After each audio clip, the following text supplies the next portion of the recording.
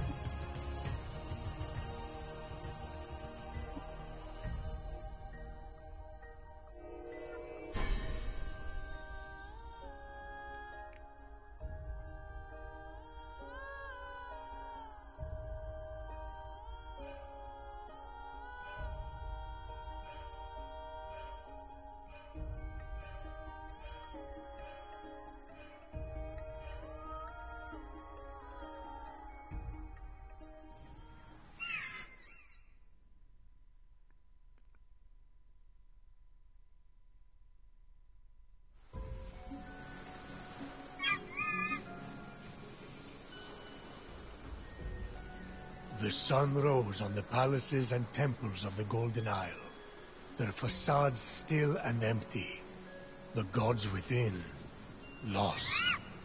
But not Phoenix. Fighting with all her might, she had nearly reached Olympus on her quest to defeat Typhon, the dreaded god destroyer. But first, she would uncover a historical secret. Phoenix had arrived on the shore where the great warrior Philoctetes had been left to die, a snake bite festering on his foot. How did he survive this little island? Why did Odysseus pick him up and carry him to the Trojan War? A war in which Philoctetes was fated to kill Paris, the instigator of the very war that... Bogs!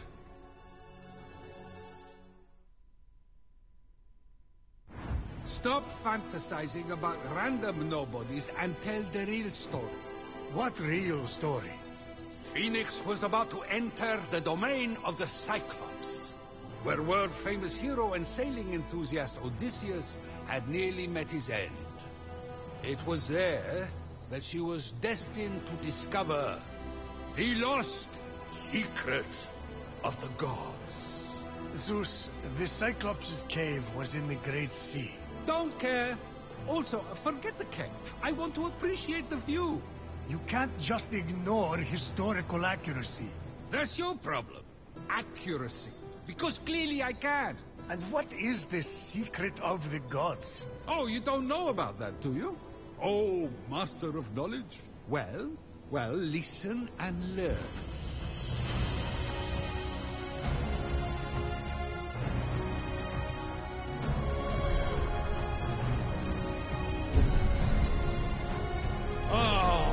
What a view!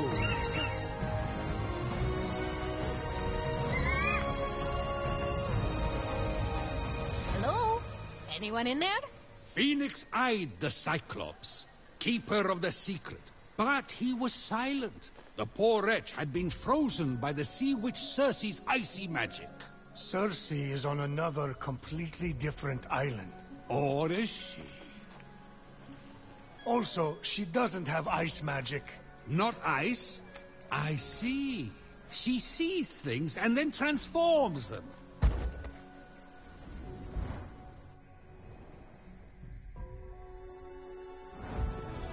You know what? I bet you that you cannot enlighten us with one truth during your story. Not one. Done. What's your favorite food? The fruit from Grandma Magaya's garden. Gods, I miss the taste.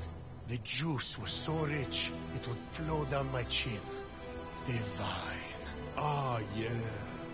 Those babies were delicious. Babies? From the mosaics? You know that's just a visual metaphor, right? The fruits of the earth are not literally babies. Ah, that explains the soapy aftertaste. Right. If I lose the bet, you will be allowed to partake of the fruit. Now, if I may... Phoenix realized only the Song of the Sirens would free the Cyclops from Circe's spell.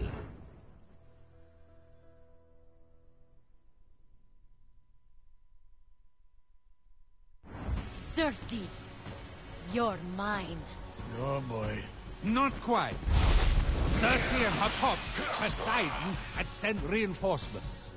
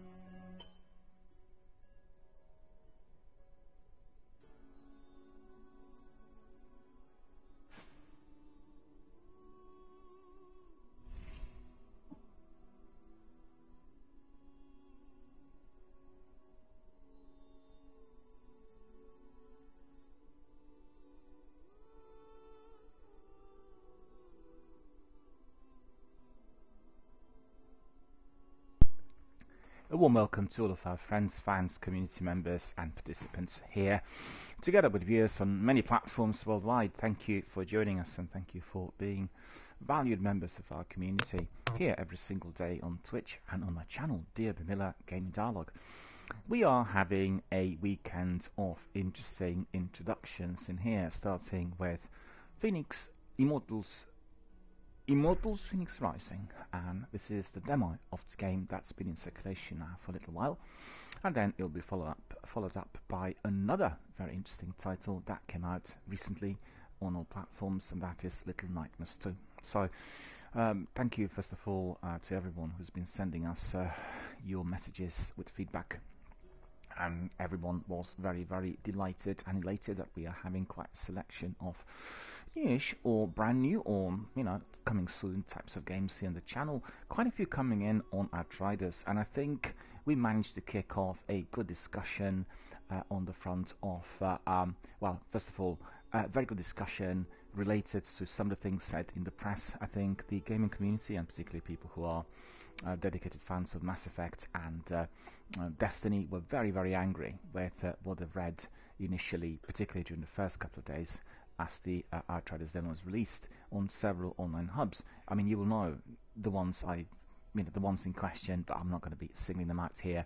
Basically, they were all feeling was that the game was not performing well, and it was looking like the old gen game, very poorly written, was one of the things that really did stick out, and that the action was very pedestrian, mundane. That no one was really excited, but the stats and the community responses on Reddit and Twitter actually did tell a different sort of story. So the message, messages I received here were basically from people who agreed with my viewpoint that um, Outriders are a beautifully written game and uh, um, that the game resembles Anthem, Destiny and most importantly Mass Effect in all sorts of ways. It has lots of reference to these wonderful masterpieces but also it is a very original one, a new game coming out of uh, uh, a Polish developer called um, people can fly and we're very very excited because we loved the game. We loved all the activity the cutscenes harvesting and the demo is actually massive. It's huge. You have loads and loads of activities there for you to complete and you can be playing for probably up to 10-15 hours if you wanted if you wanted to do the open world some harvesting to get some good gear. And uh, you know it's absolutely tipped up.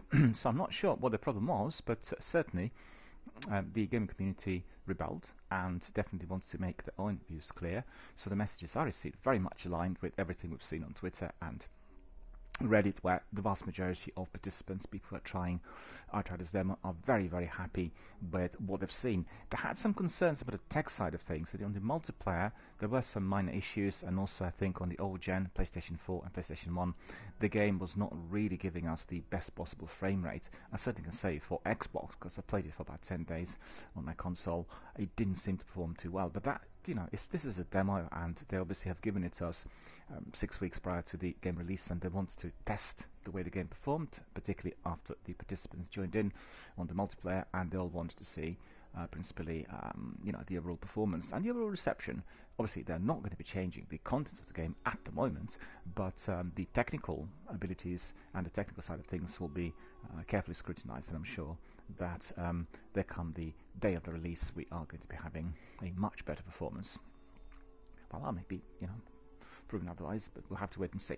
So thank you for the messages and thank you for everyone who said really are enjoying the sessions of the DRB Miller introducing because you're introducing some very interesting games that we never heard of. And two that stick in mind really are Going Under, uh, the game I introduced last weekend, available um, on um, Xbox and all other platforms, and uh, it's the game that uh, was offered free of charge. So uh, we have freebies every weekend, and you know some of those are very, very interesting, great indie games introduced through um, Xbox services, and I absolutely loved it. So thank you to several community members who were writing and indeed describing their own delight with that uh, dungeon crawler with a twist. You know, it's it's a game that's quite political, and um, I think when we look back, um, once we sort of move forward like 10 years, we are going to be saying, ah this game really represents the way things were in the US, uh, particularly in certain sectors of our industry. And it's rare that you get a game with that degree of um, kind of historic significance. I mean, I've seen a few, but this was really quite pertinent, and I'm also inviting everyone to try it. Going under, available on Xbox and think on Switch as well, uh, on a good price, and you can have a look. And if you're wondering what the game's like, just just you know, dig it up on my uh, channel. You can watch them playback, and you will be able to see the ins and outs of that uh, interesting dungeon crawler with that twist. Okay, so uh, uh, the other game people quite liked uh, that I introduced was um, Echo Generation, and the game's not out yet, so it was just a demo released as part of the last year's Game Awards, Geoff Keighley's you know Academy for Awards for video games, and um, the game is due to be coming out later in the year, but really very very good one and very simple graphics, but very very um, um, enlightening uh, in dialogue and very humorous and very entertaining. So I really quite look forward to its release as well. So many more games to come. We had already uh, last week also Descenders. The game's been around for a little while, and on the list there are games such as uh, Vulkaneer, Spiritfarer, and uh, Project Winter. This weekend we'll be looking at some of these in addition to the ones which I'm streaming today. So thank you, thank you for your support, and thank you for all that you have been giving us here during the last three years. Uh, very soon we'll be coming to our third year anniversary and we'll have some special competitions and rewards in here for all of our dedicated veterans in the same way as uh, we did have last year as we were commencing our second year anniversary. So you know get ready for that. Still a few months to go. This is going to be in September so it's not around the corner. But uh, it did seem like the last year has been very hectic and our third year indeed here on the channel has been perhaps taking a different direction because our first years were dedicated primarily to Destiny 1 and 2 and we've had um, the vast majority of our sessions dedicated to both gameplay, our community and everything else. After two years we kind of diversified somewhat. We had quite a selection of different titles in here.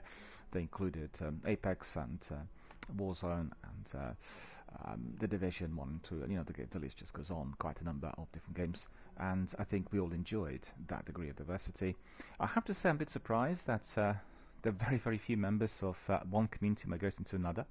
So um, from overall experiences, only the only one person from Destiny community, which I think uh, does uh, consist of uh, maybe 500 uh, veterans, uh, we we had well maybe maybe a few more even. Uh, we had Eni Sekapupu joining us for Apex and for Warzone. So it does tell you that the mindset of a gamer today is still very much tied to a particular gaming activity and maybe one particular open world people like enjoying that world and exploring it and doing it indefinitely or infinitely in fact I did come across a number of Destiny veterans and players who are with us and uh, principally they just play Destiny they play nothing else and funnily, we did come across a few who were just doing Warzone and nothing else. So it's very interesting. Uh, I'm not that kind of gamer. I played games for many, many years, and um, I like playing all the games and different genres and like all sorts. Obviously, I have a preference for RPGs and open world, but you know, there are very interesting battle royale games. There's some death matches. There's some uh, um, platformers. You know, the, the, list just goes on and on. Basically, the variety uh, of titles available today on streaming platforms, in particular, is mind-boggling. And just reminding myself of the very big news from yesterday. Well, uh, I'm quite certain every single serious gamer has already heard uh, of it and uh, was fully aware of that taking place. But yesterday it was consolidated, and we've heard it was actually consolidated last week because the EU had given um, the green light uh, for Bethesda to become part of Microsoft Group, and uh, automatically Microsoft services could then be presenting some of the titles to the streaming services in Europe, and um, that's exactly what's happened yesterday. So we have quite a selection of about 20 games, I think uh, Bethesda games that include uh, Doom Trilogy as well as uh, Fallout and Elder Scrolls and Wolfenstein. All of those are being introduced to both console and um, um, Xbox for PC uh, as Xbox exclusives. So, you know, quite something. You're really wondering whether these games will be disappearing from other platforms in due course. Presently, they will not, because obviously there are contractual obligations, but Bethesda becoming part of Microsoft Group will mean that um, they'll be having everything released through Microsoft and the Game Pass first of all. And that for us, the subscribers, the dedicated Xbox veterans, is a true delight. Whether it will work in a long term in terms of their development and uh, you know game creation remains to be seen. But nevertheless, I'm very very excited, and um, it will be fantastic to see all the Wolfenstein games instantly accessible through uh, Game Pass. And the list just goes on and on. You know, I've, I've, my backlog is massive, and I really have to be breaking up some of my streams with other games being thrown in because otherwise I just you know keep playing uh, a couple of games and uh, the rest will be just waiting there, uh, waiting out there for me to um, uh, come back in or have a look at, and that itself is uh, a very very um, protracted type of process which is not making me uh, feel very very happy. I like trying out games as they come out, and um, you know the list is just very very lengthy. And also, I think if you're using uh, Microsoft and PlayStation Store, they've been massively improved in recent months, I should say, last two years, and we are able to get instant trailers and then lots of information every single game. So, for instance, what I do is have one day a week where I'm just looking at whatever is new out there, and that's usually on Wednesday, right? Uh, because on Tuesday we have reset, and uh, the reset in the UK is after six o'clock, so I do this uh, on Wednesday morning. So I go through all the new new additions and you know new special offers, new deals, resets, everything, and always look at the new titles that are being introduced uh, to uh, the regular weekly uh, services on those stores. And there's quite a selection, so you can really get very knowledgeable just by browsing through the list and looking at trailers and maybe exploring them a bit more. If you if you go to uh, YouTube and check out some of the developer videos, and so it's, it's never been a better time to become fully um, informed and uh, there are games that always catch your eye due to the graphics, the gameplay, or something else said. And um, you know, it's quite quite a list.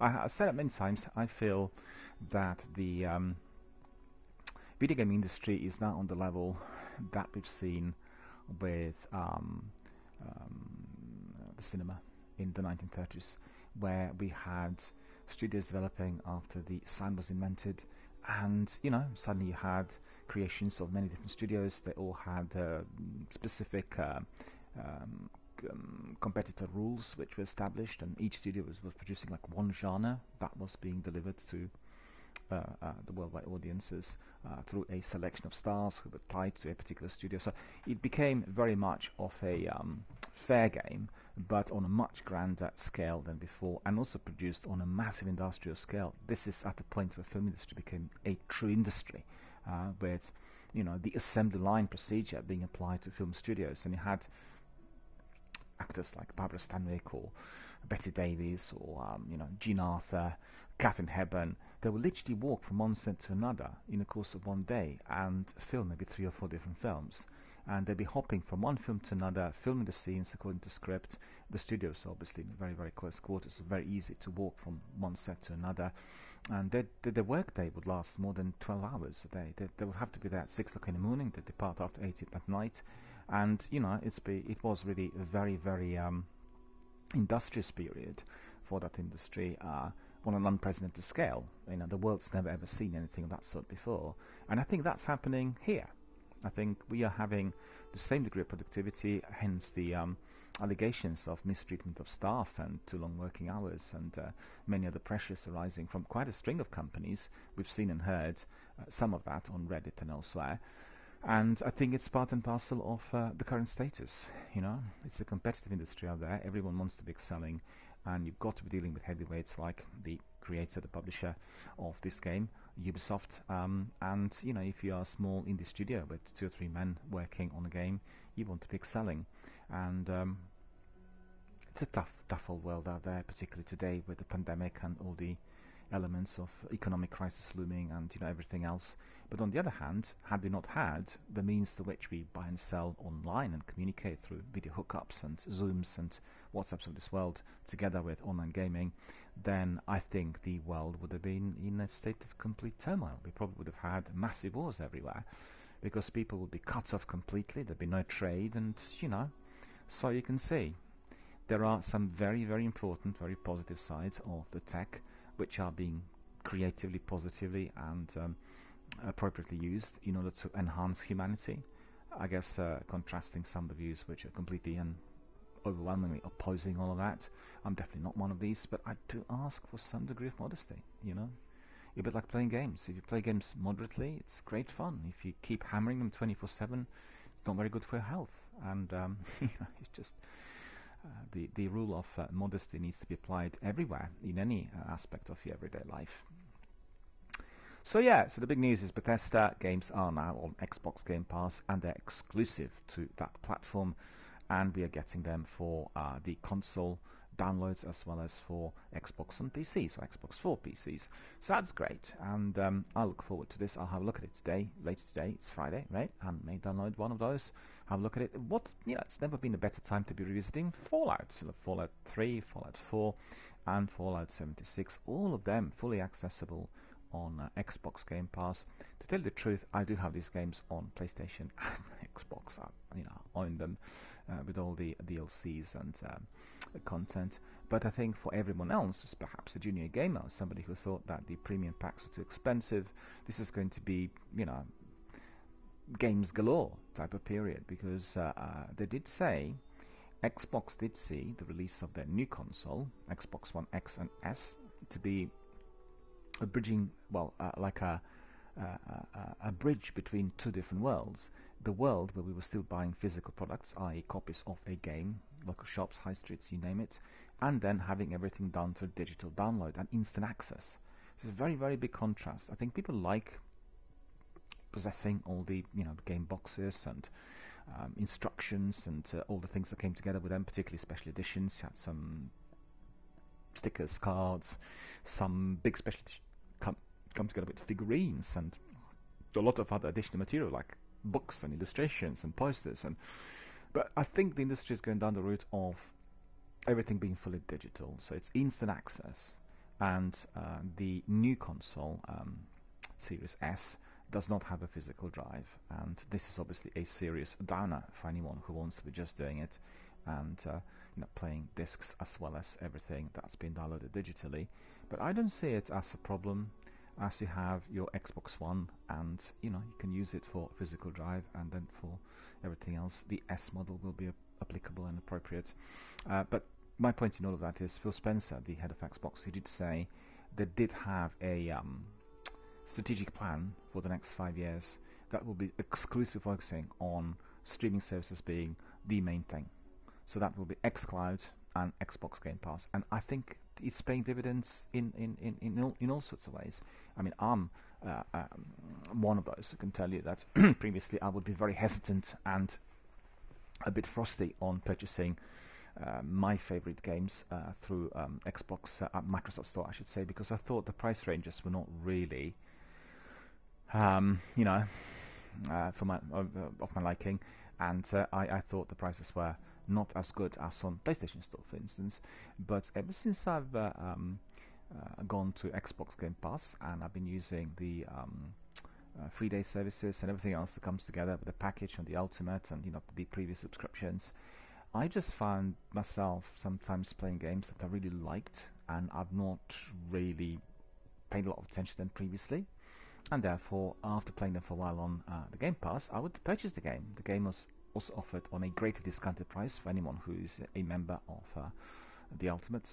So it's fantastic, you know. You can get sometimes games like The Division for uh, on the price of um, I think it was three pound fifty or something like that. It was like unbelievably low. Um, the Division Two is a massive game. It's a bit like Destiny, ever evolving, and three pounds fifty for all of that is just a no-brainer.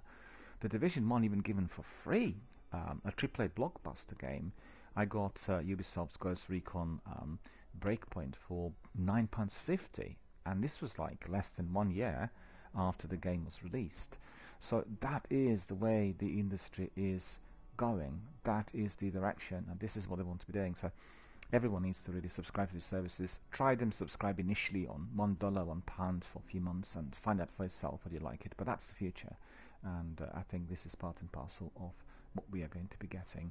The other thing is uh, all the developers are looking at very interactive, very easily downloadable, and very enjoyable um, demos and alphas and betas. And you've seen that recently that they've really toyed with the idea um, between VIP demos like in Anthem, which were not really fully kind of extract, well, they, didn't have a content that you would see in the game.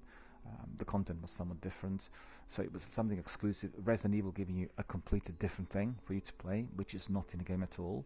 You know to attract you both to the game and to the demo and then you've had um, the developers like um, People Can Fly with Outriders taking a risk and giving the first chunk of the game. So it's prologue and chapter one with all of its content, and you know, some developers not giving you anything like Cyberpunk, nothing, and I think that probably was a fluke. And they will seriously consider that uh, for their future releases. But um, I guess the, the, the difference there is if you're working on a game where you really are spending a lot of time and energy on um, every single detail and you want your community and um, the gamers to enjoy that as they go along then releasing demos and um, alphas and betas may well be spoiling somebody's entertainment and I know for certain there's quite a number of veterans in my community who will tell you um, they will not want to be playing demos and they will just wait until the game's released and they'll do it from the day one because they want to be fully immersed. So it's quite similar to people who want to be always avoiding trailers. Uh, they don't want to see trailers because they will create a bias towards a film and they'll think, well, the trailer is over amplifying something that's not at all good in the film. And I get an assumption that film's brilliant and I go there and I get disappointed. And that's true. I mean, I, have seen that many times for myself, but yeah, it's down to the preference and uh, I personally, um, as far as video game is concerned, uh, do not actually watch other people stream the games that I want to be playing on Twitch or YouTube. I never do that. I never do that, and particularly the games that have linear narrative, you know, storytelling games, because that will spoil the experience for me. But what I will do is I'll enter alphas and betas. I do them all the time, as well as demos, in order to get a flavor of a game. Because quite frankly, if I'm a streamer, if I do regular everyday streams, I will not have enough time to do everything. And therefore, having a shorter demo or alpha and beta will give me a very good flavor and see whether I like the game or not. And that will be very, very remarkable. I think the overall need for these is decreasing because as the games become accessible through streaming services, you can simply hop in and try the game on the day of its release if you are, for instance, um, a member of our Xbox Game Pass community. And the exclusives like Gears and uh, um, you know all the other ones, uh, Halo, they, they're all going to be released um, uh, on the platform, so you can you can get in straight away. Sometimes even a day or two before the game actually becomes accessible to others, and you know you'll you'll step in and you'll try the game, you play it in full.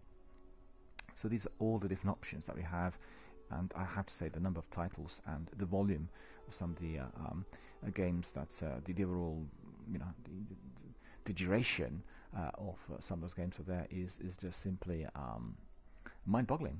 And uh, if you were to, I mean, I think as a rule of thumb, you need to have only one open world game uh, played at any given time, and then you can have maybe one battle royale, which obviously is just the matches that keep rolling, and then you can have maybe another narrative game, which is not based on open world, that is kind of playing from beginning to end, and that's it. There's like three different types, and that's all you can do. And this is wider. At the moment, I'm doing um, my regular uh, streams in here of uh, Apex and Warzone, which are Battle Royale, and then we have uh, um, story-based games like uh, some of those that I'm introducing here through um, my regular DB Mill introducing episodes on Gaming Dialogue, and then I also play one open world, which is presently The Witcher.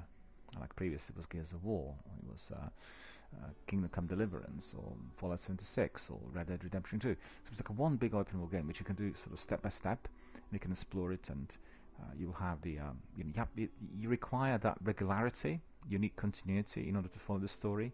Otherwise, you'll miss out on threads and the game will not be as interesting. And I've got to say, The Witcher 2 is, is a remarkable game. Very difficult at times, and it's similar to Elder Scrolls and um, to uh, uh, some of the other games where in fact the story is pushing you forward quite fast but you need to do all the other side activities like um, side quests and missions in order to get uh, um, your Witcher skills updated. And uh, you need to get um, you know um, extra enhancers bits of kit and your skills tree needs to go up.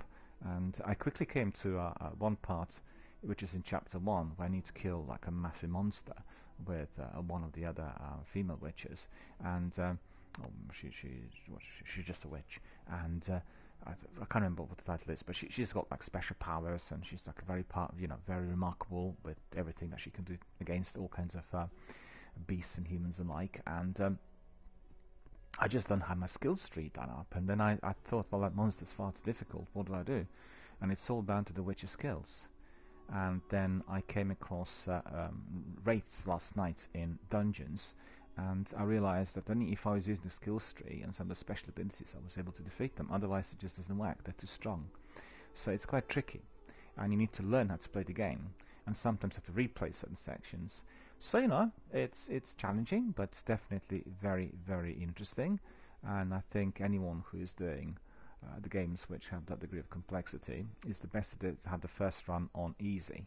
Because if you want to do the hardest level, you need to be a veteran with types of games, and still, it will be quite challenging. But you know, down to player preference. I, I, I like, like for instance, in this instance, you've seen up four or five difficulty levels. I've gone for the story difficulty, which is presenting us with as much story as possible. And then, you know, just crack on it's not all about the battles. But for some people, they just want the battles and no story, as we've seen in uh, Wars and Apex and uh, some of other Call of Duty and Destiny, in fact, uh, competitors, where people just want to do speed runs, they're not interested in the story, it's all about elimination. Fair enough, but my channel is definitely not for that. Well, my friends, let's have a look at this wonderful game, um, which in fact has been run for a little while and it's been released on the December the 3rd of last year. So we are talking about about three months in circulation and the demo was released in beforehand. Um, I really want to play the demo already in December. I listened to Larry and Jeff talking about it quite a bit on Xbox podcast and I think both recommended the game. They really found it to be very very interesting and um, uh, highly entertaining and uh, comprising the elements of some other games we've seen before. I mean, here we have Assassin's Creed Odyssey as being the obvious reference, but I think uh, um, uh, Starlight is the other that uh, I've seen from. Um, is it Starlink or Starlight uh, from Ubisoft? Does have similar sort of elements and a wonderful, wonderful, um, wonderful game, and you know, sort of reference to all the other games, but obviously with a twist. We'll we'll have a look at it uh, in depth now. So. The game was originally known as Gods and Monsters, and it's an, uh, an action, ac action adventure game developed by Ubisoft Quebec and published by Ubisoft. So um, it's been released on Amazon Luna, Windows, Nintendo Switch, PlayStation 4, 5, Stadia, Xbox One, and Series X and S so across all platforms. To be fair, but if I'm not mistaken, no, it's been released on Windows for PC, obviously. Uh, we have Scott Phillips as uh, the game director, and as I said it's Ubisoft Quebec. So the story is told in narration by the gods Prometheus and Zeus and tells the journey of Phoenix on her way to save her brother turned to stone and become embroiled um, on the escape of the evil Typhon, right? So we've seen a bit of that in that cutscene. I'm not sure whether the game starts in the same way, whether this is just the beginning of the game or whether you know we'll be doing sort of um, small excerpts from um, you know the um, the activity out there. So Immortals is an action-adventure video game played from a third-person perspective. At the beginning of the game, players can customize the gender, voice, and the appearance of Phoenix, which is what we'll do next, using Aphrodite's beauty chair. At any point in the game, they can return to the beauty chair and customize Phoenix. The game is set in a large open world consisting of seven distinct regions inspired by the Greek gods. The player character is accompanied by a companion bird named Phosphor, which can identify locations of interest on the map. Phoenix can traverse the world quickly through climbing cliffs, riding on a mount, and flying using the wings of Daedalus. The full open world will be accessible from the start of the game, so as we start, we're going to be, you know, jumping with both feet in. As players explore the worlds, they would encounter rifts, which would teleport them uh, to the vaults of Tartaros, which are a series of platforming challenges that require players to utilize both Phoenix combat and traversal abilities. Players can also complete various side objectives and optional puzzles. The world of the Golden Isles are occupied with various enemies inspired by Greek mythology, including Minotaurs to Cyclops. There are two modes of melee attack. Light attacks with a sword are fast but weak, but heavy attacks with an axe are slow but strong. Phoenix can also use bows and arrows to defeat enemies. Players need to manage Phoenix's stamina during combat, as they will become exhausted when they attack successfully. As players progress in the game, they would also be able to unlock powerful godlike abilities. For instance, Phoenix can unlock Ares Wrath, a group of spears that thrust enemies into the air. Armor and weapons can also be upgraded by collecting sufficient crafting resources in the game's world. So we have loads of loads of information here on the developer, so we'll read that as well, because lots of our friends who are watching uh, the um, uh, the episodes here are quite curious. They want to know more about how these games have been conceived and created. So we always provide you with a wealth of information. You can always go to um, various internet-based hubs, online hubs that will give you in-depth information. But you know, we also want to be uh, active participants in the entire process. You know, from the way the game was conceived the way it was made, and then we become the gamers, the active participants in the process of enjoying the characters. But you know, I, I always had a drive to find out how a film was made, who was behind that film, particularly if I loved uh, a particular title. I want to know who the director was, who the actors were. Wanted to know uh, who wrote the screenplay, how long did it take for film to be made, uh, what was the actual process of getting a screenplay done. You know, films like Apocalypse Now, um, Ta- Taxi Driver, to give you just uh, Once Upon a Time in America. I think Once Upon a Time in America, money given to Sergio Leone without a single letter written on the film. You know, incredible. He just convinced the producer uh, with a story that he gave him at a dinner, which they were having together, that this was going to be it. And he presented it in such a beautiful, uh, kind of picturesque fashion that the producer was smitten and gave him all the money. And there were lots of problems with that film, and you, you know, anyone who is a film buff will, will know the details. Um, but then you have other films where, like Apocalypse Now, screenplay 1967, confiscated and you know considered to be reactionary and uh, troubling for the government position uh, of that era, as America was involved in that very, very uh, difficult, very protracted war in um, Southeast Asia, and you know, or you had Taxi Driver, a script that nobody wanted to direct, uh, written, waiting there on Paul Schrader's desk, and then finally finding Martin Scorsese who would uh, take the risk. And um, well, we know the film's legendary today, but nobody in America wanted to watch the film at the time. it just was down to the film festivals in Europe that you know gave it 10 out of 10. Otherwise, in America, would have ended up on um, exploitation, triple X circuits, and nobody would have seen the film. Anyway, so these are the stories we all want to find out how our games are being made. So this game was developed by Ubisoft Quebec, uh, the team which created Assassin's Creed Odyssey. Game director Scott Phillips added that the project originated from a software bug the team discovered during the development of Odyssey, which changed the humans on the player's crew into giant cyclopses, and decided that it would be a good idea to create a separate game that embraces the mythological side of Greece. Due to the positive reception of Odyssey, uh, Ubisoft management agreed to, uh, to greenlight the project. So the game was officially announced as Gods and Monsters during E3 2019. Initially set to be released on February the 26th of uh, 2020, the game was delayed in October 2019 after another Ubisoft tentpole release Tom Clancy's Ghost Recon Breakpoint, it's, you know, obviously AAA blockbuster, failed to be commercially successful. And I know why, because they made a terrible error in there by extracting uh, a four-man team which was run by AI. You had just one player and you had to be bringing in forcefully other live players in. A lot of people didn't like that because it was clashing with the concept that they introduced before in Wildlands and they just killed the game. And it did take about um, six or eight months before they introduced the AI three-piece that was joining uh, the main protagonist. And then they also introduced experience mode, which I think is absolutely terrific. But you know, eight months later, that's a bit too little, too late for some of the hardcore veterans that didn't didn't buy into it. Unfortunately, still not performing too well. Very sad to see that because I loved the game. Um, the other thing was storytelling. They made it a bit similar to Destiny, very non-linear, and a lot of people didn't like that. They, they felt the campaign had to be a bit more closely tied to all that they were doing. And uh, to be frank, there are so many activities in there that they do feel a bit disjointed. But you know, if you are Ghost Recon veteran, you recognize everything. And um, I love the game, and I was particularly happy to have uh, acquired the game eight months later on a price of I think less than nine. It was eight pounds, nine pounds. It was very very cheap, and you know the actual price at the time was still 75 pounds, 65 pounds. You know the, the top range. Anyway. Um, so that we well, we heard that due to the release of um, Breakpoint, uh, this game was indeed delayed. And then the delay gave additional time for the development team to ensure that their respective innovations are perfectly implemented as to deliver optimal experiences for everyone. Uh, Quebec Studio used the additional time to add Zeus and Prometheus as the game's dual narrators, replacing Greek poet Homer, that's interesting, who was initially intended to fulfill this role. So it'd be, you know, Homer talking and then running the show, so to speak, there, telling the tale. Um, a work in progress built on the game was leaked on Stadia under the codename Orpheus in June 2020. It was re revealed as Immortals Fenyx Rising.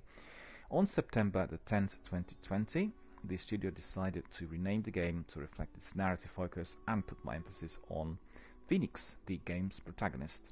The name change appeared to be a result from a trademark dispute with Monster Energy, which challenged the gods and monsters' name, believing it would cause confusion. It's a drink, isn't it? Uh, Jeffrey Yohalem, uh, who had previously written for previous Ubisoft titles such as Assassin's Creed 2, Far Cry 3, Child of Light, served as uh, narrative director and lead writer for the game. Um, the humour of the game, particularly that involving the bickering between the narrators Zeus and Prometheus, was inspired by films such as Robin Hood Men in The Princess Bride, and The Naked Gun.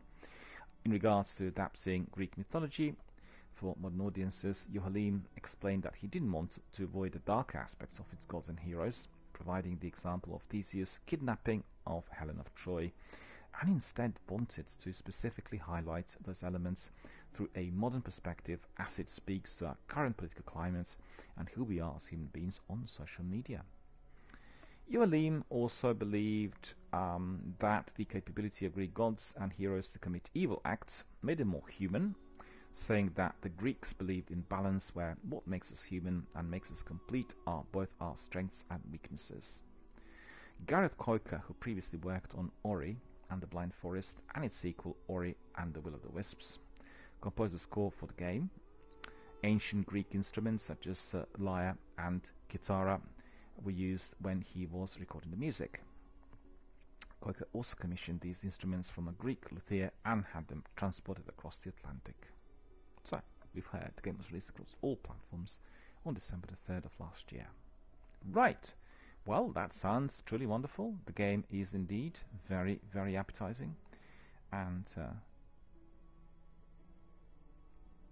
we are going to be cracking on with the full uh, introduction to the game very, very shortly. So stay with us, and indeed we are going to be carrying on with our DRB Mill introducing here on the channel, and really look forward to see what Phoenix is going to be like.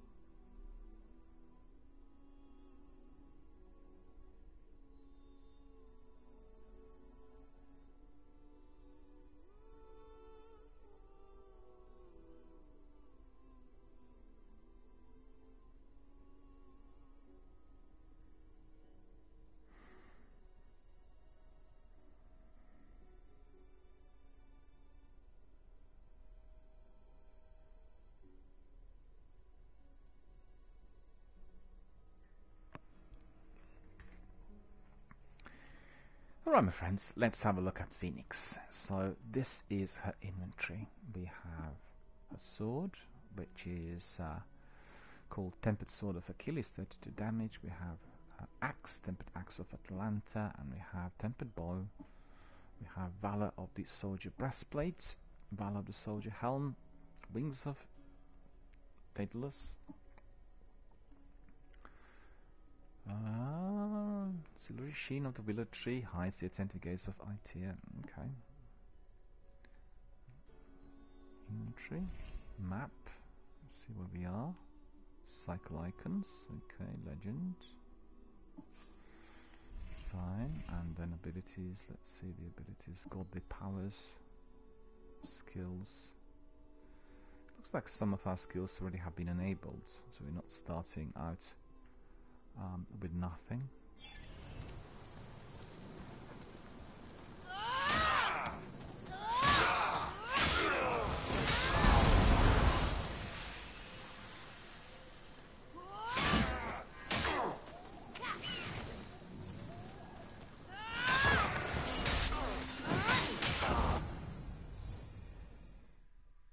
Looks like we won this match. approach the edge of the cliff.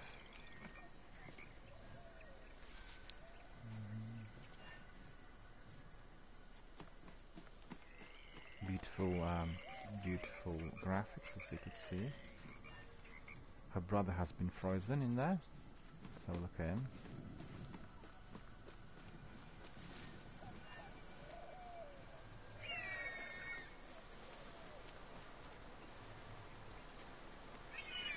Hmm. Okay.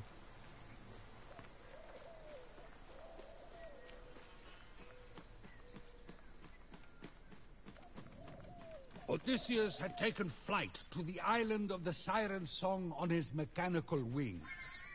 He wore a pair stolen from Circe's weaponarium and massage parlor. You know that Odysseus visited Circe after Polyphemus.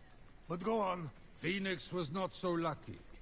Wingless, she just had to believe. Hmm. You can carry those big rocks.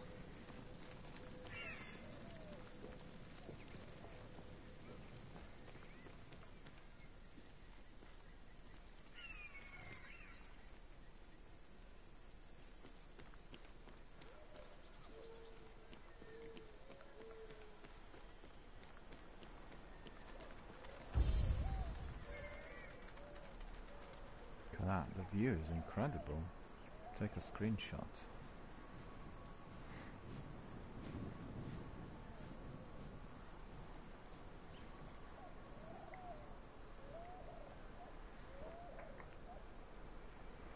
Alright, let's have a look.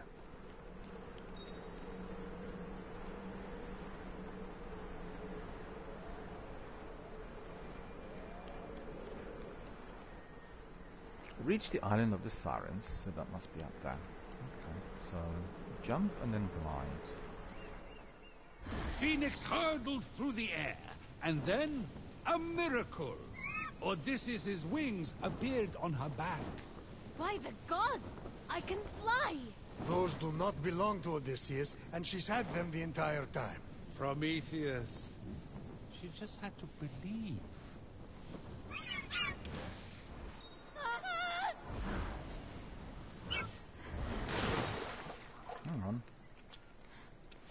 Alright, she can be grappling, crawling, that's very good.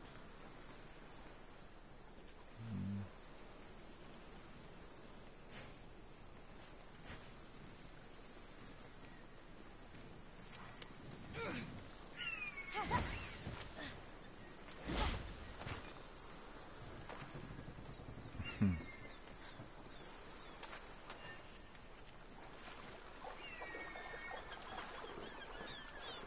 swimming a bit.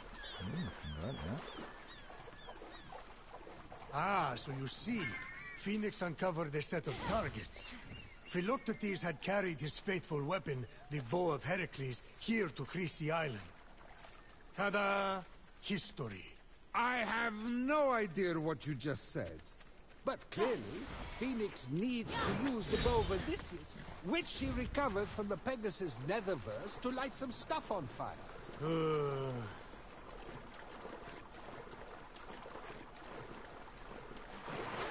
Drive a bit.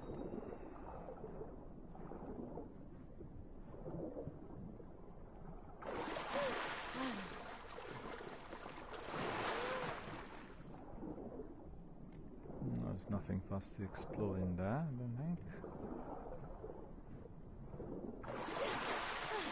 Okay. This is the island, I think.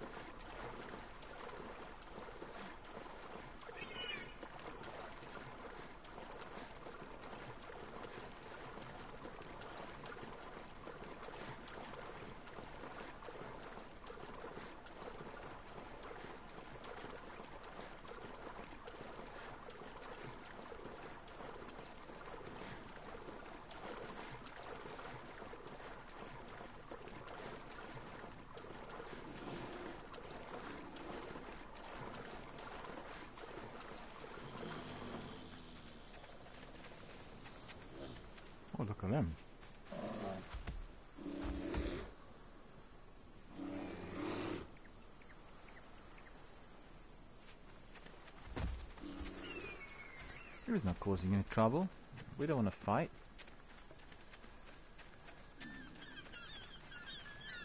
Phoenix couldn't wait to have the secret of the gods in her clutches. She would rule over all. you know she's trying to save all of you. Why would she do that? Maybe because we gave the mortals fire. Yeah, I chained you to a rock for all eternity as punishment. Good point.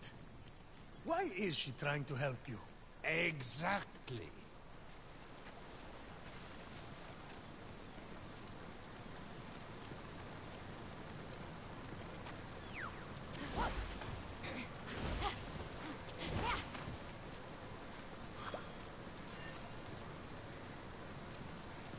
Mm, where do we need to go? Blue mushrooms. Alright. Oh, it's up there. Okay.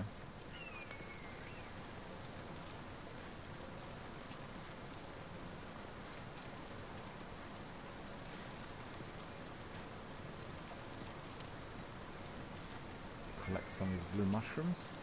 Yeah.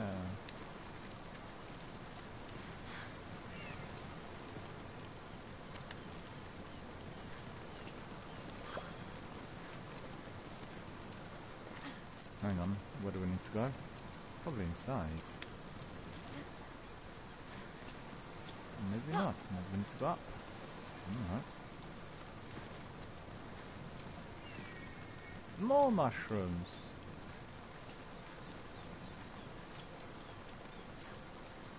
Mind you, I'm eating quite a few mushrooms myself at the moment, so that's good.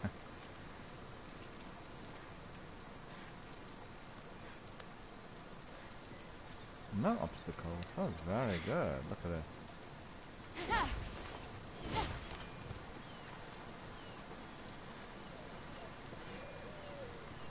That's awesome. Look at that.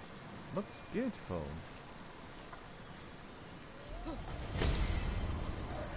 Ambrosia has been collected. Okay. Let's see up here. and then-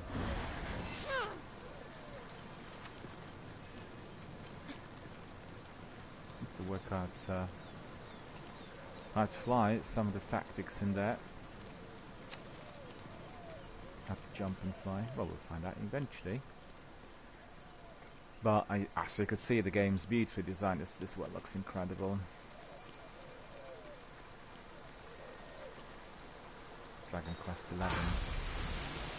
Circe and Poseidon would never give up until the mortal fell.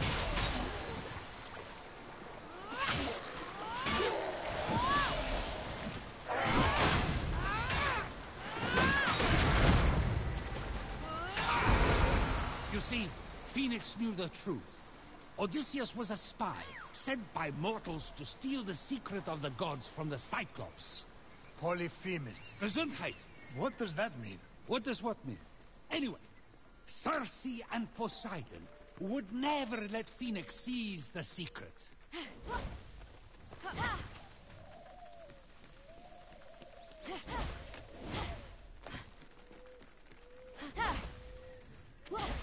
No, I missed it. No.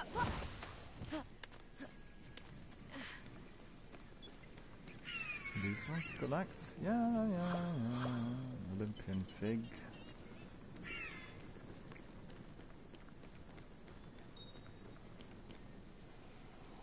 Crouch.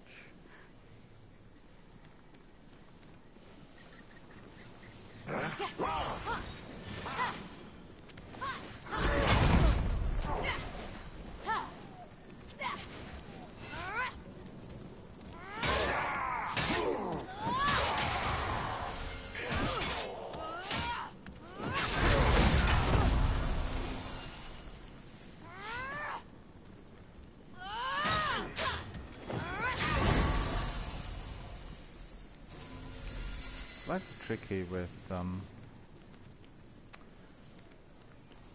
this control R1 and R2 being pressed at the same time.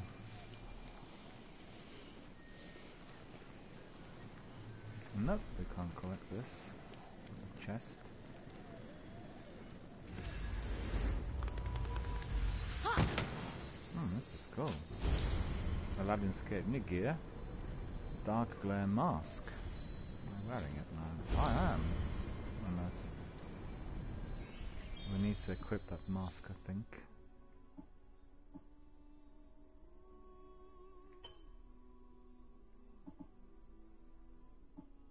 So this is 1% stamina, 120.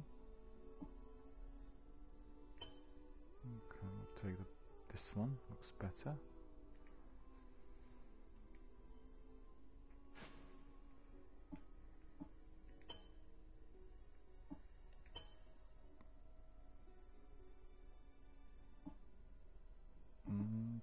See it.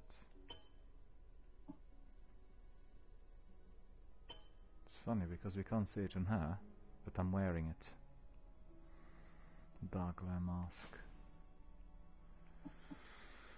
Okay, that's sorted. So it should be a bit more powerful. Inventory is used to manage Phoenix's gear, animal companions and items. Yeah. So we've got up. Up.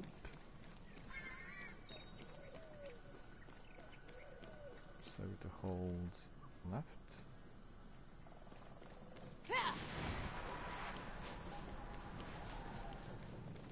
It's a bit tricky. Been hard on my fingers.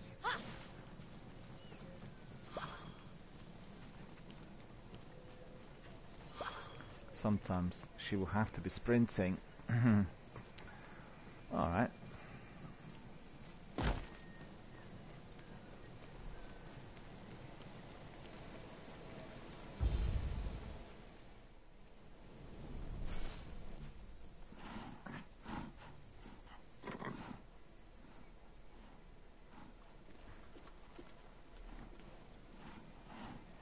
Stag. Hey, you. What a cute. Skip. It's a Minotaur. What? Actually, Cerberus. Wasn't he with Hades that weekend? Did I say Cerberus? I meant a griffin. Make it the ship Odysseus hid under to escape from Polyphemus. No, a lion. Might as well be a flock of roosters. Oh, good call. You're not serious. The roosters of the sea. Isn't that tuna? Summoned by Poseidon to crack up a storm. Phoenix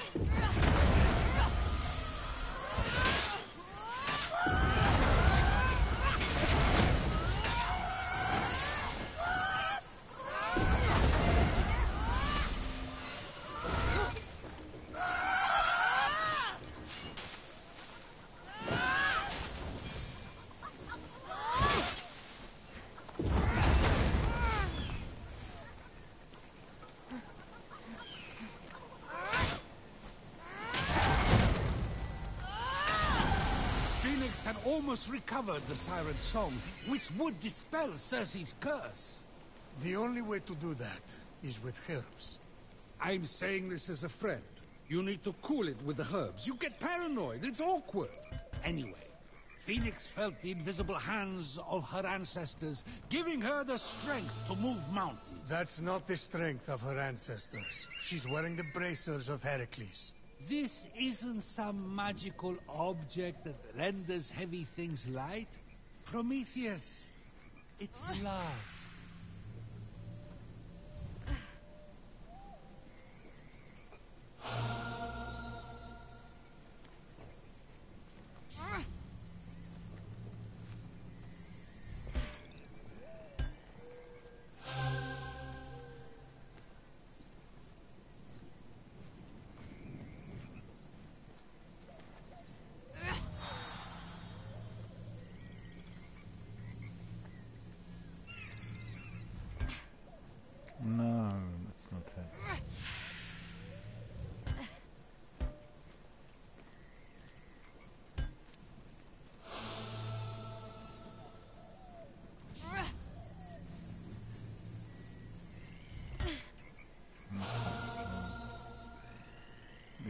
Good. We need two more.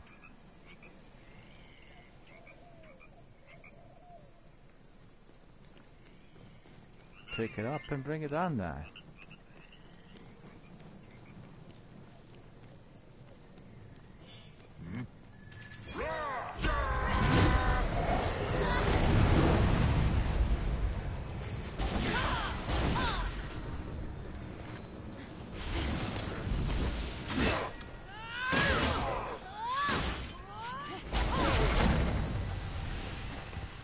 that was good.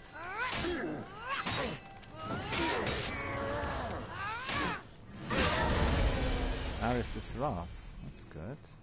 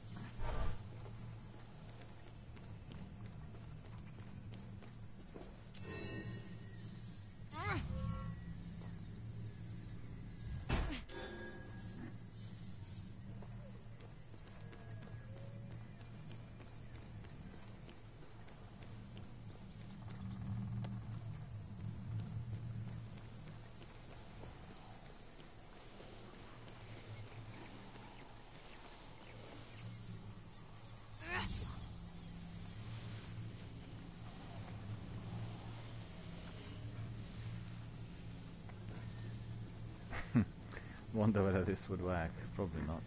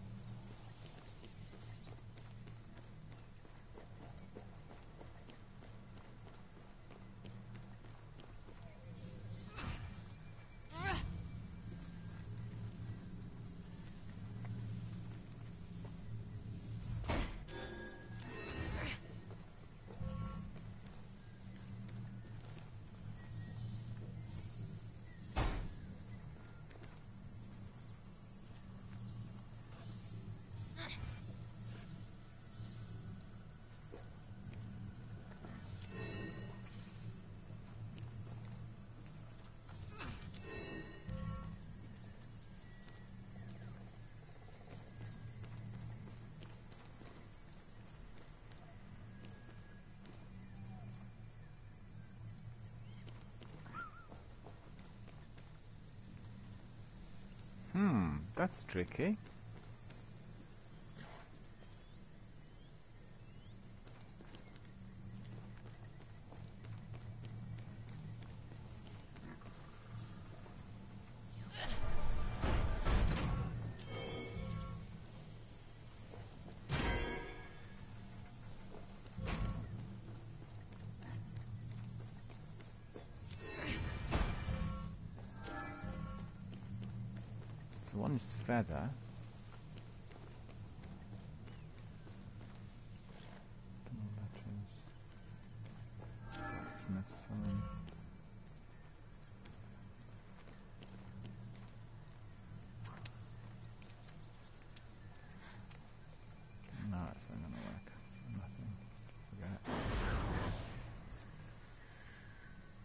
Hmm. So we're stuck somewhat, aren't we?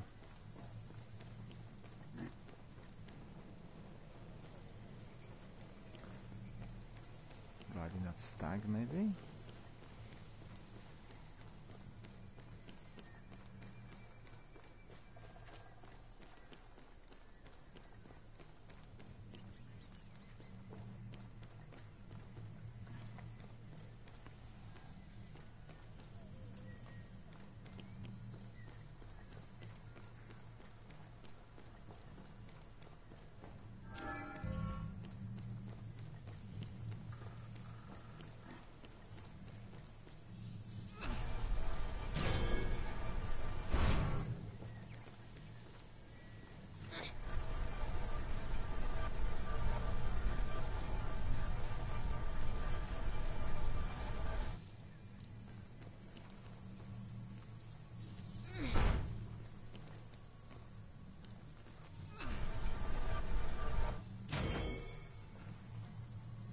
That's fine. How about the other one?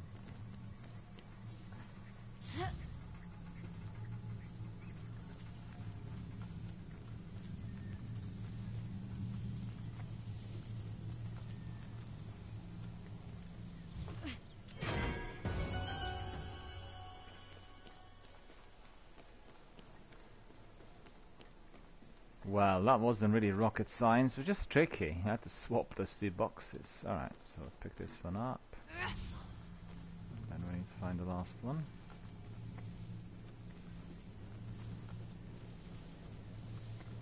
He's waiting for us. But I must admit, the, the actual environment in here looks really incredible. Beautifully designed, really. And look at the motion. So smooth. Well, you know, people who play this game or Ubisoft games in general, they'll have a problem with that, right? Just because the animation there is not as smooth as this. Uh, needs to be here, I think.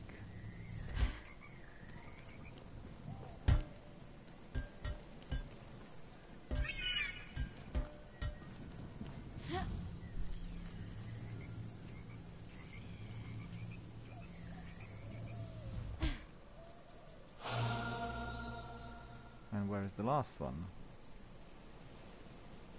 Up there.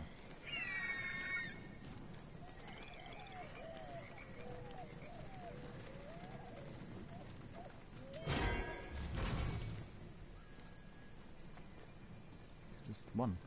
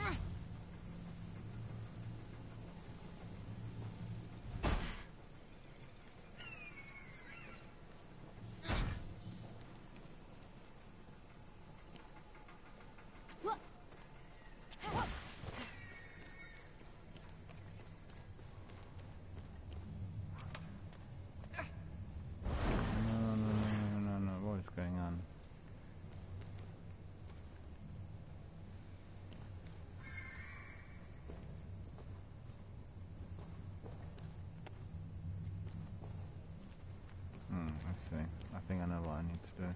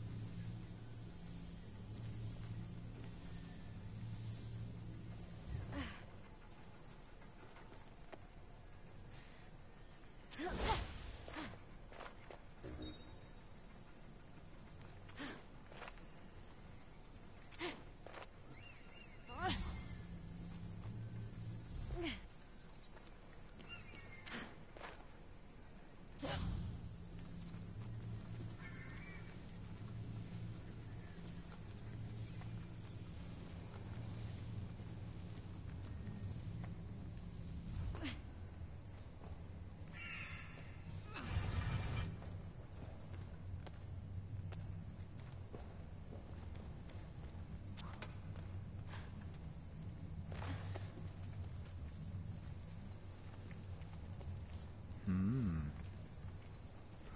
Must be another platform I've not seen yet. Somewhere on here.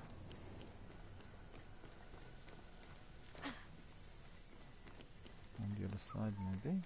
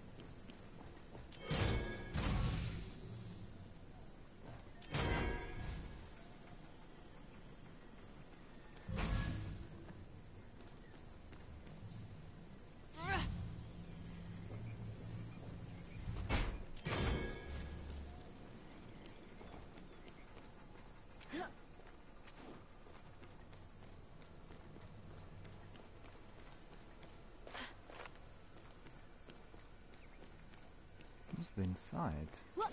Can't think of anything else.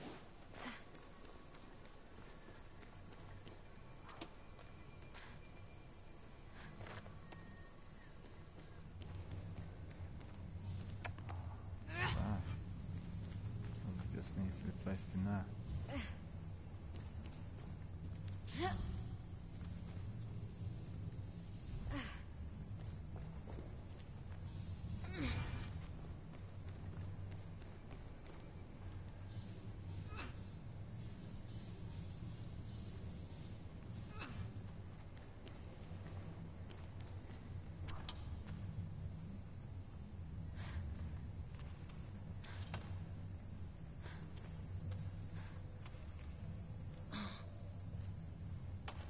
There isn't that. Oh there is. Okay.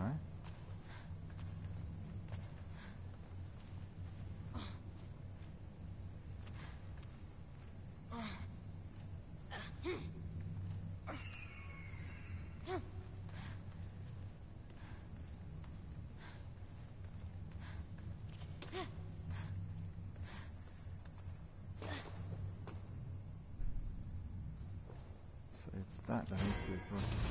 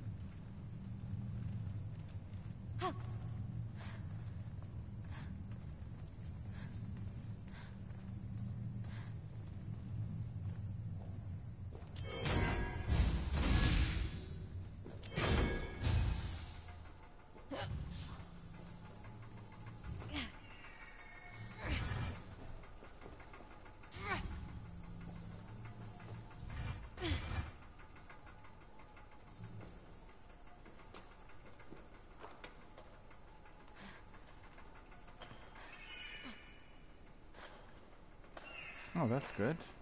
So now we've got uh, the last one. Very good.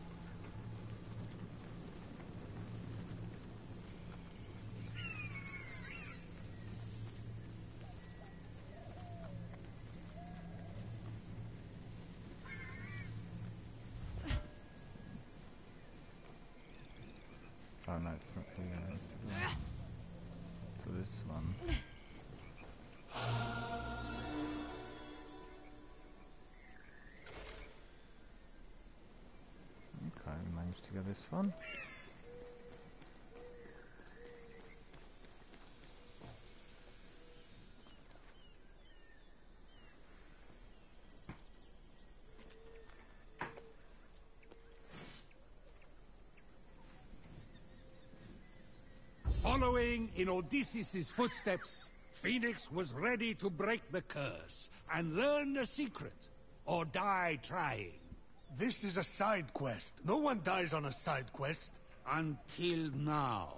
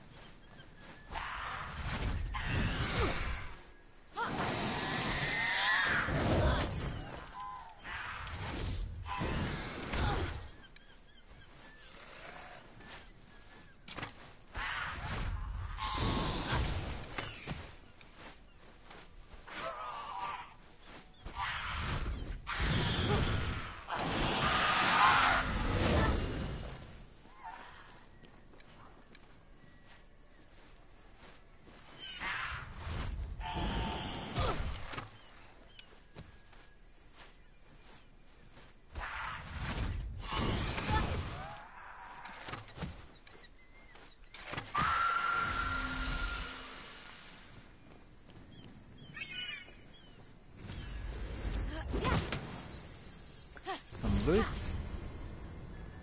Wings of the Dreadful. Wings of the Dreadful. Look at that. So what's the benefit? You can glide, you can glide, you can glide. Okay, and this one? It's said that his wings are weighed by the pain of a once beautiful woman turned into a repulsive gorgon. Oh, look at that. Ah! Wings of the Dreadful. Need to remember. Look like a butterfly now. What's this?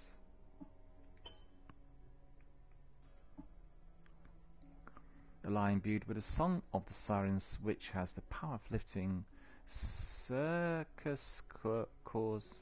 No, hang on. Which has the power of lifting Circe's curse over Polyphemus, the Cyclops. Okay, we've picked it up. We know what it is.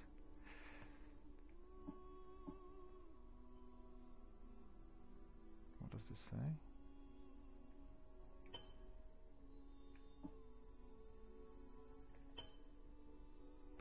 I see. So we can place it on, or we can just extract it, but it's still going to be there. I think we'll, keep it on for a little while, right? So give our character a bit of uh, punch, ready, with outfits. No, time to make another cup of tea. Short break, and when I come back, we'll carry on with our adventure. So far, just like Larry and Jeff said, a wonderful game.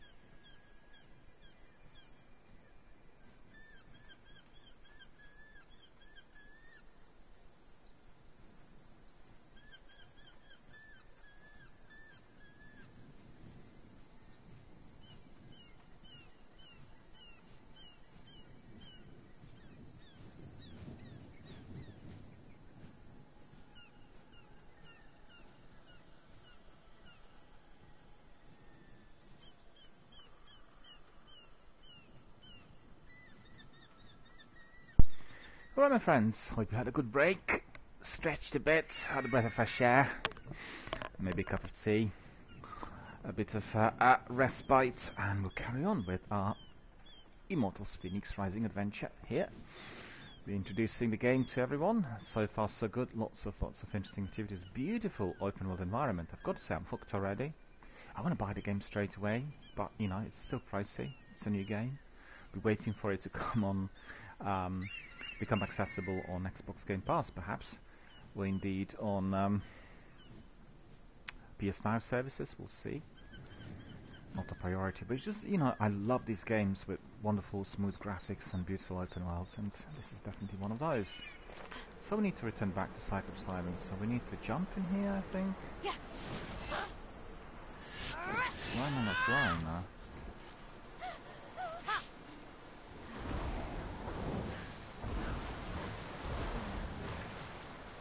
Mm, didn't seem to fly too well.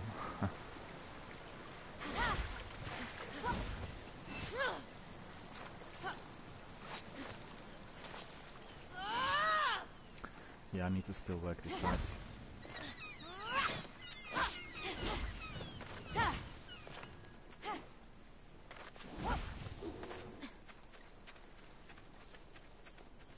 Doesn't matter, we can walk, or we can fly, or we can try different things.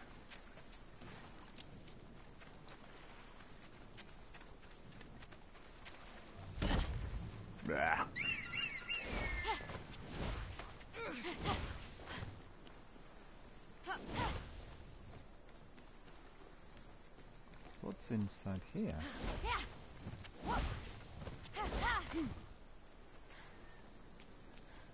Grappling. Like a creepy crawly, aren't I? No, I want to try. It's just not working. I know. It must be doing something wrong.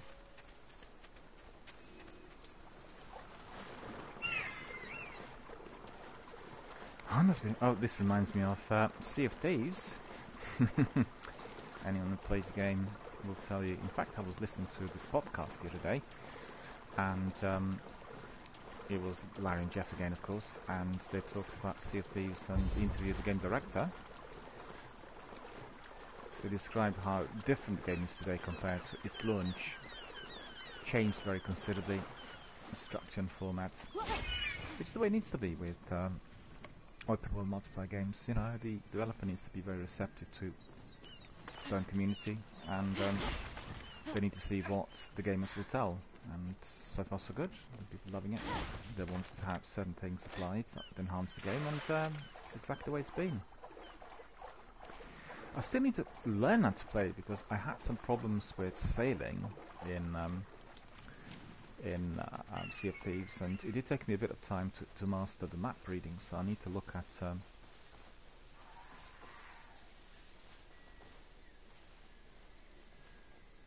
how come that uh, I was able to? No. Ah, yeah, it's double click. Got it.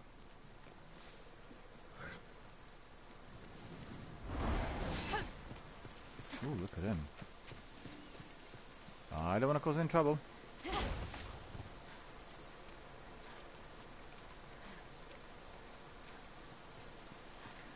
Phoenix is an athlete, as you could tell.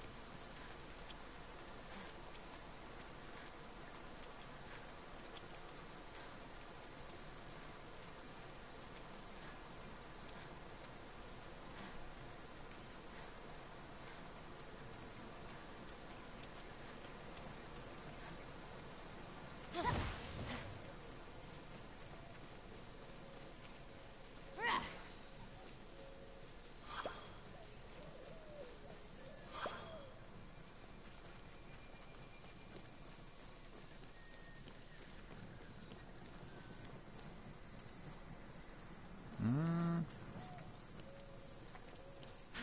255 meters.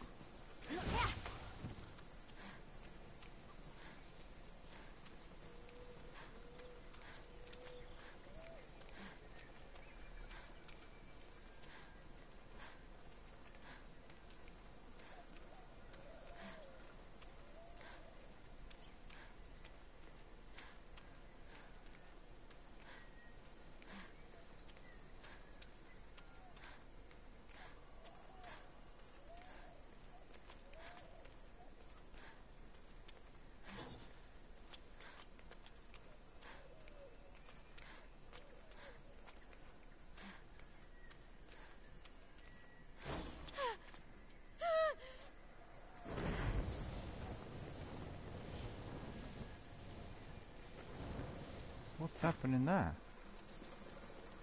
I didn't get it.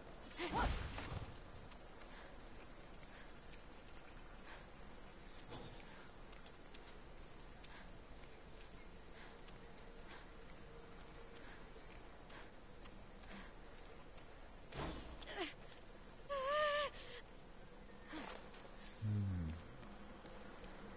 No, we'll give that a miss actually.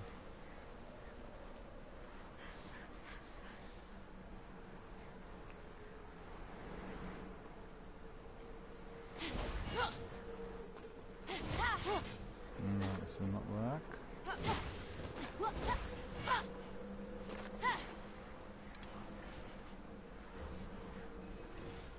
Oh yeah, I can Yeah, I didn't realise you can actually change it to a. Um,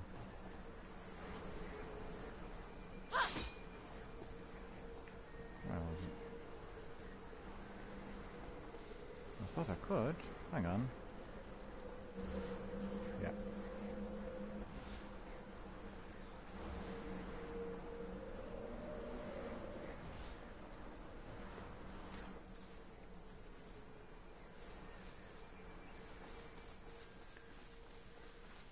Try another way in.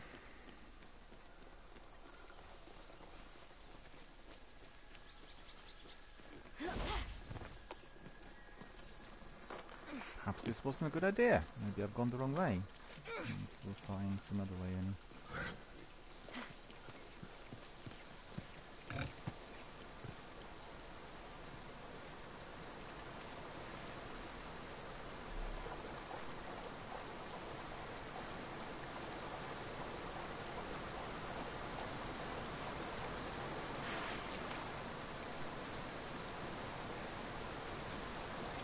Interesting because really on one hand you have the well similar to um, Assassin's Creed Odyssey, but the actual in-game mechanics resemble um, the Uncharted and um, Lara Croft. Exploration and crawling and everything.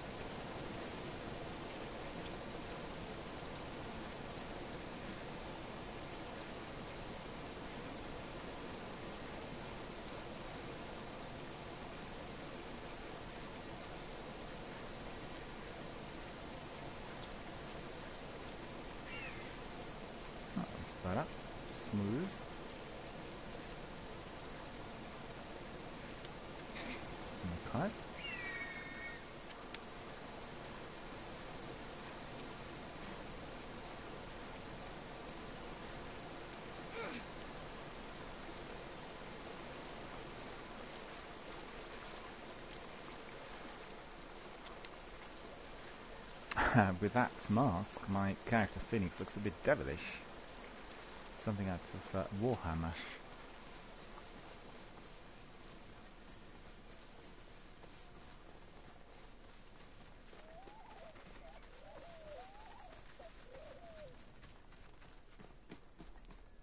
Three polyphemus from Sir Circe's Curse. There we are. Arrived.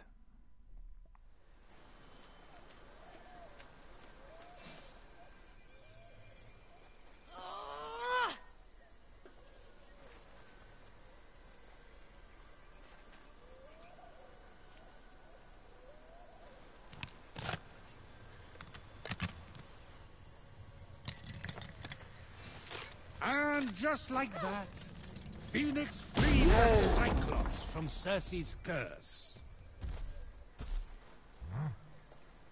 Oh, wise Cyclops. What is the secret of the gods? The Cyclops turned to her and spoke. Phoenix, the secret has been inside you all along. What the... The Cyclops said, I am but a small piece of a planet that is alive. How is that a secret? I've traveled back through time to prevent a terrible future from occurring. What is that even? I see people.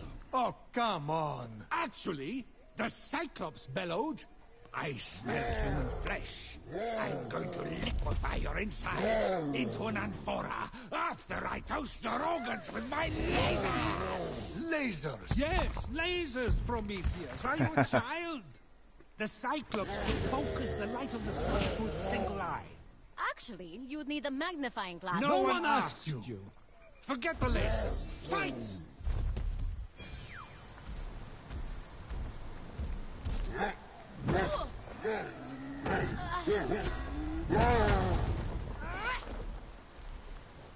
This is going to be tricky.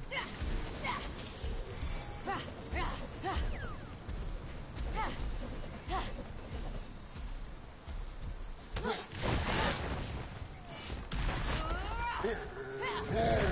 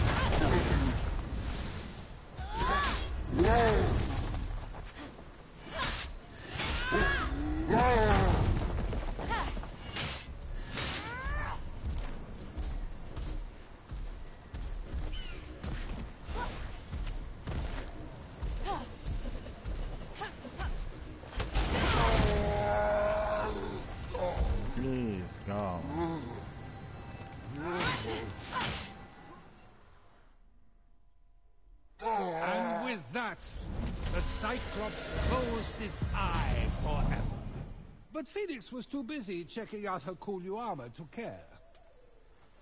Oh, look at that. The end. So, no secret of the gods after all. Huh? You have lost, O Zeus. Not one truth in the entirety of this ridiculous tale you have spun. I, Prometheus, am triumphant. What do you have to say for yourself? No, I'm, I'm, I'm sorry. I was eating. You're right. This is so juicy. The fruit of Gaia? What can I say? Never make a bet when you're chained to a rock. Actually, that's the secret of the gods. Oppression. Hey, did I just win the bet?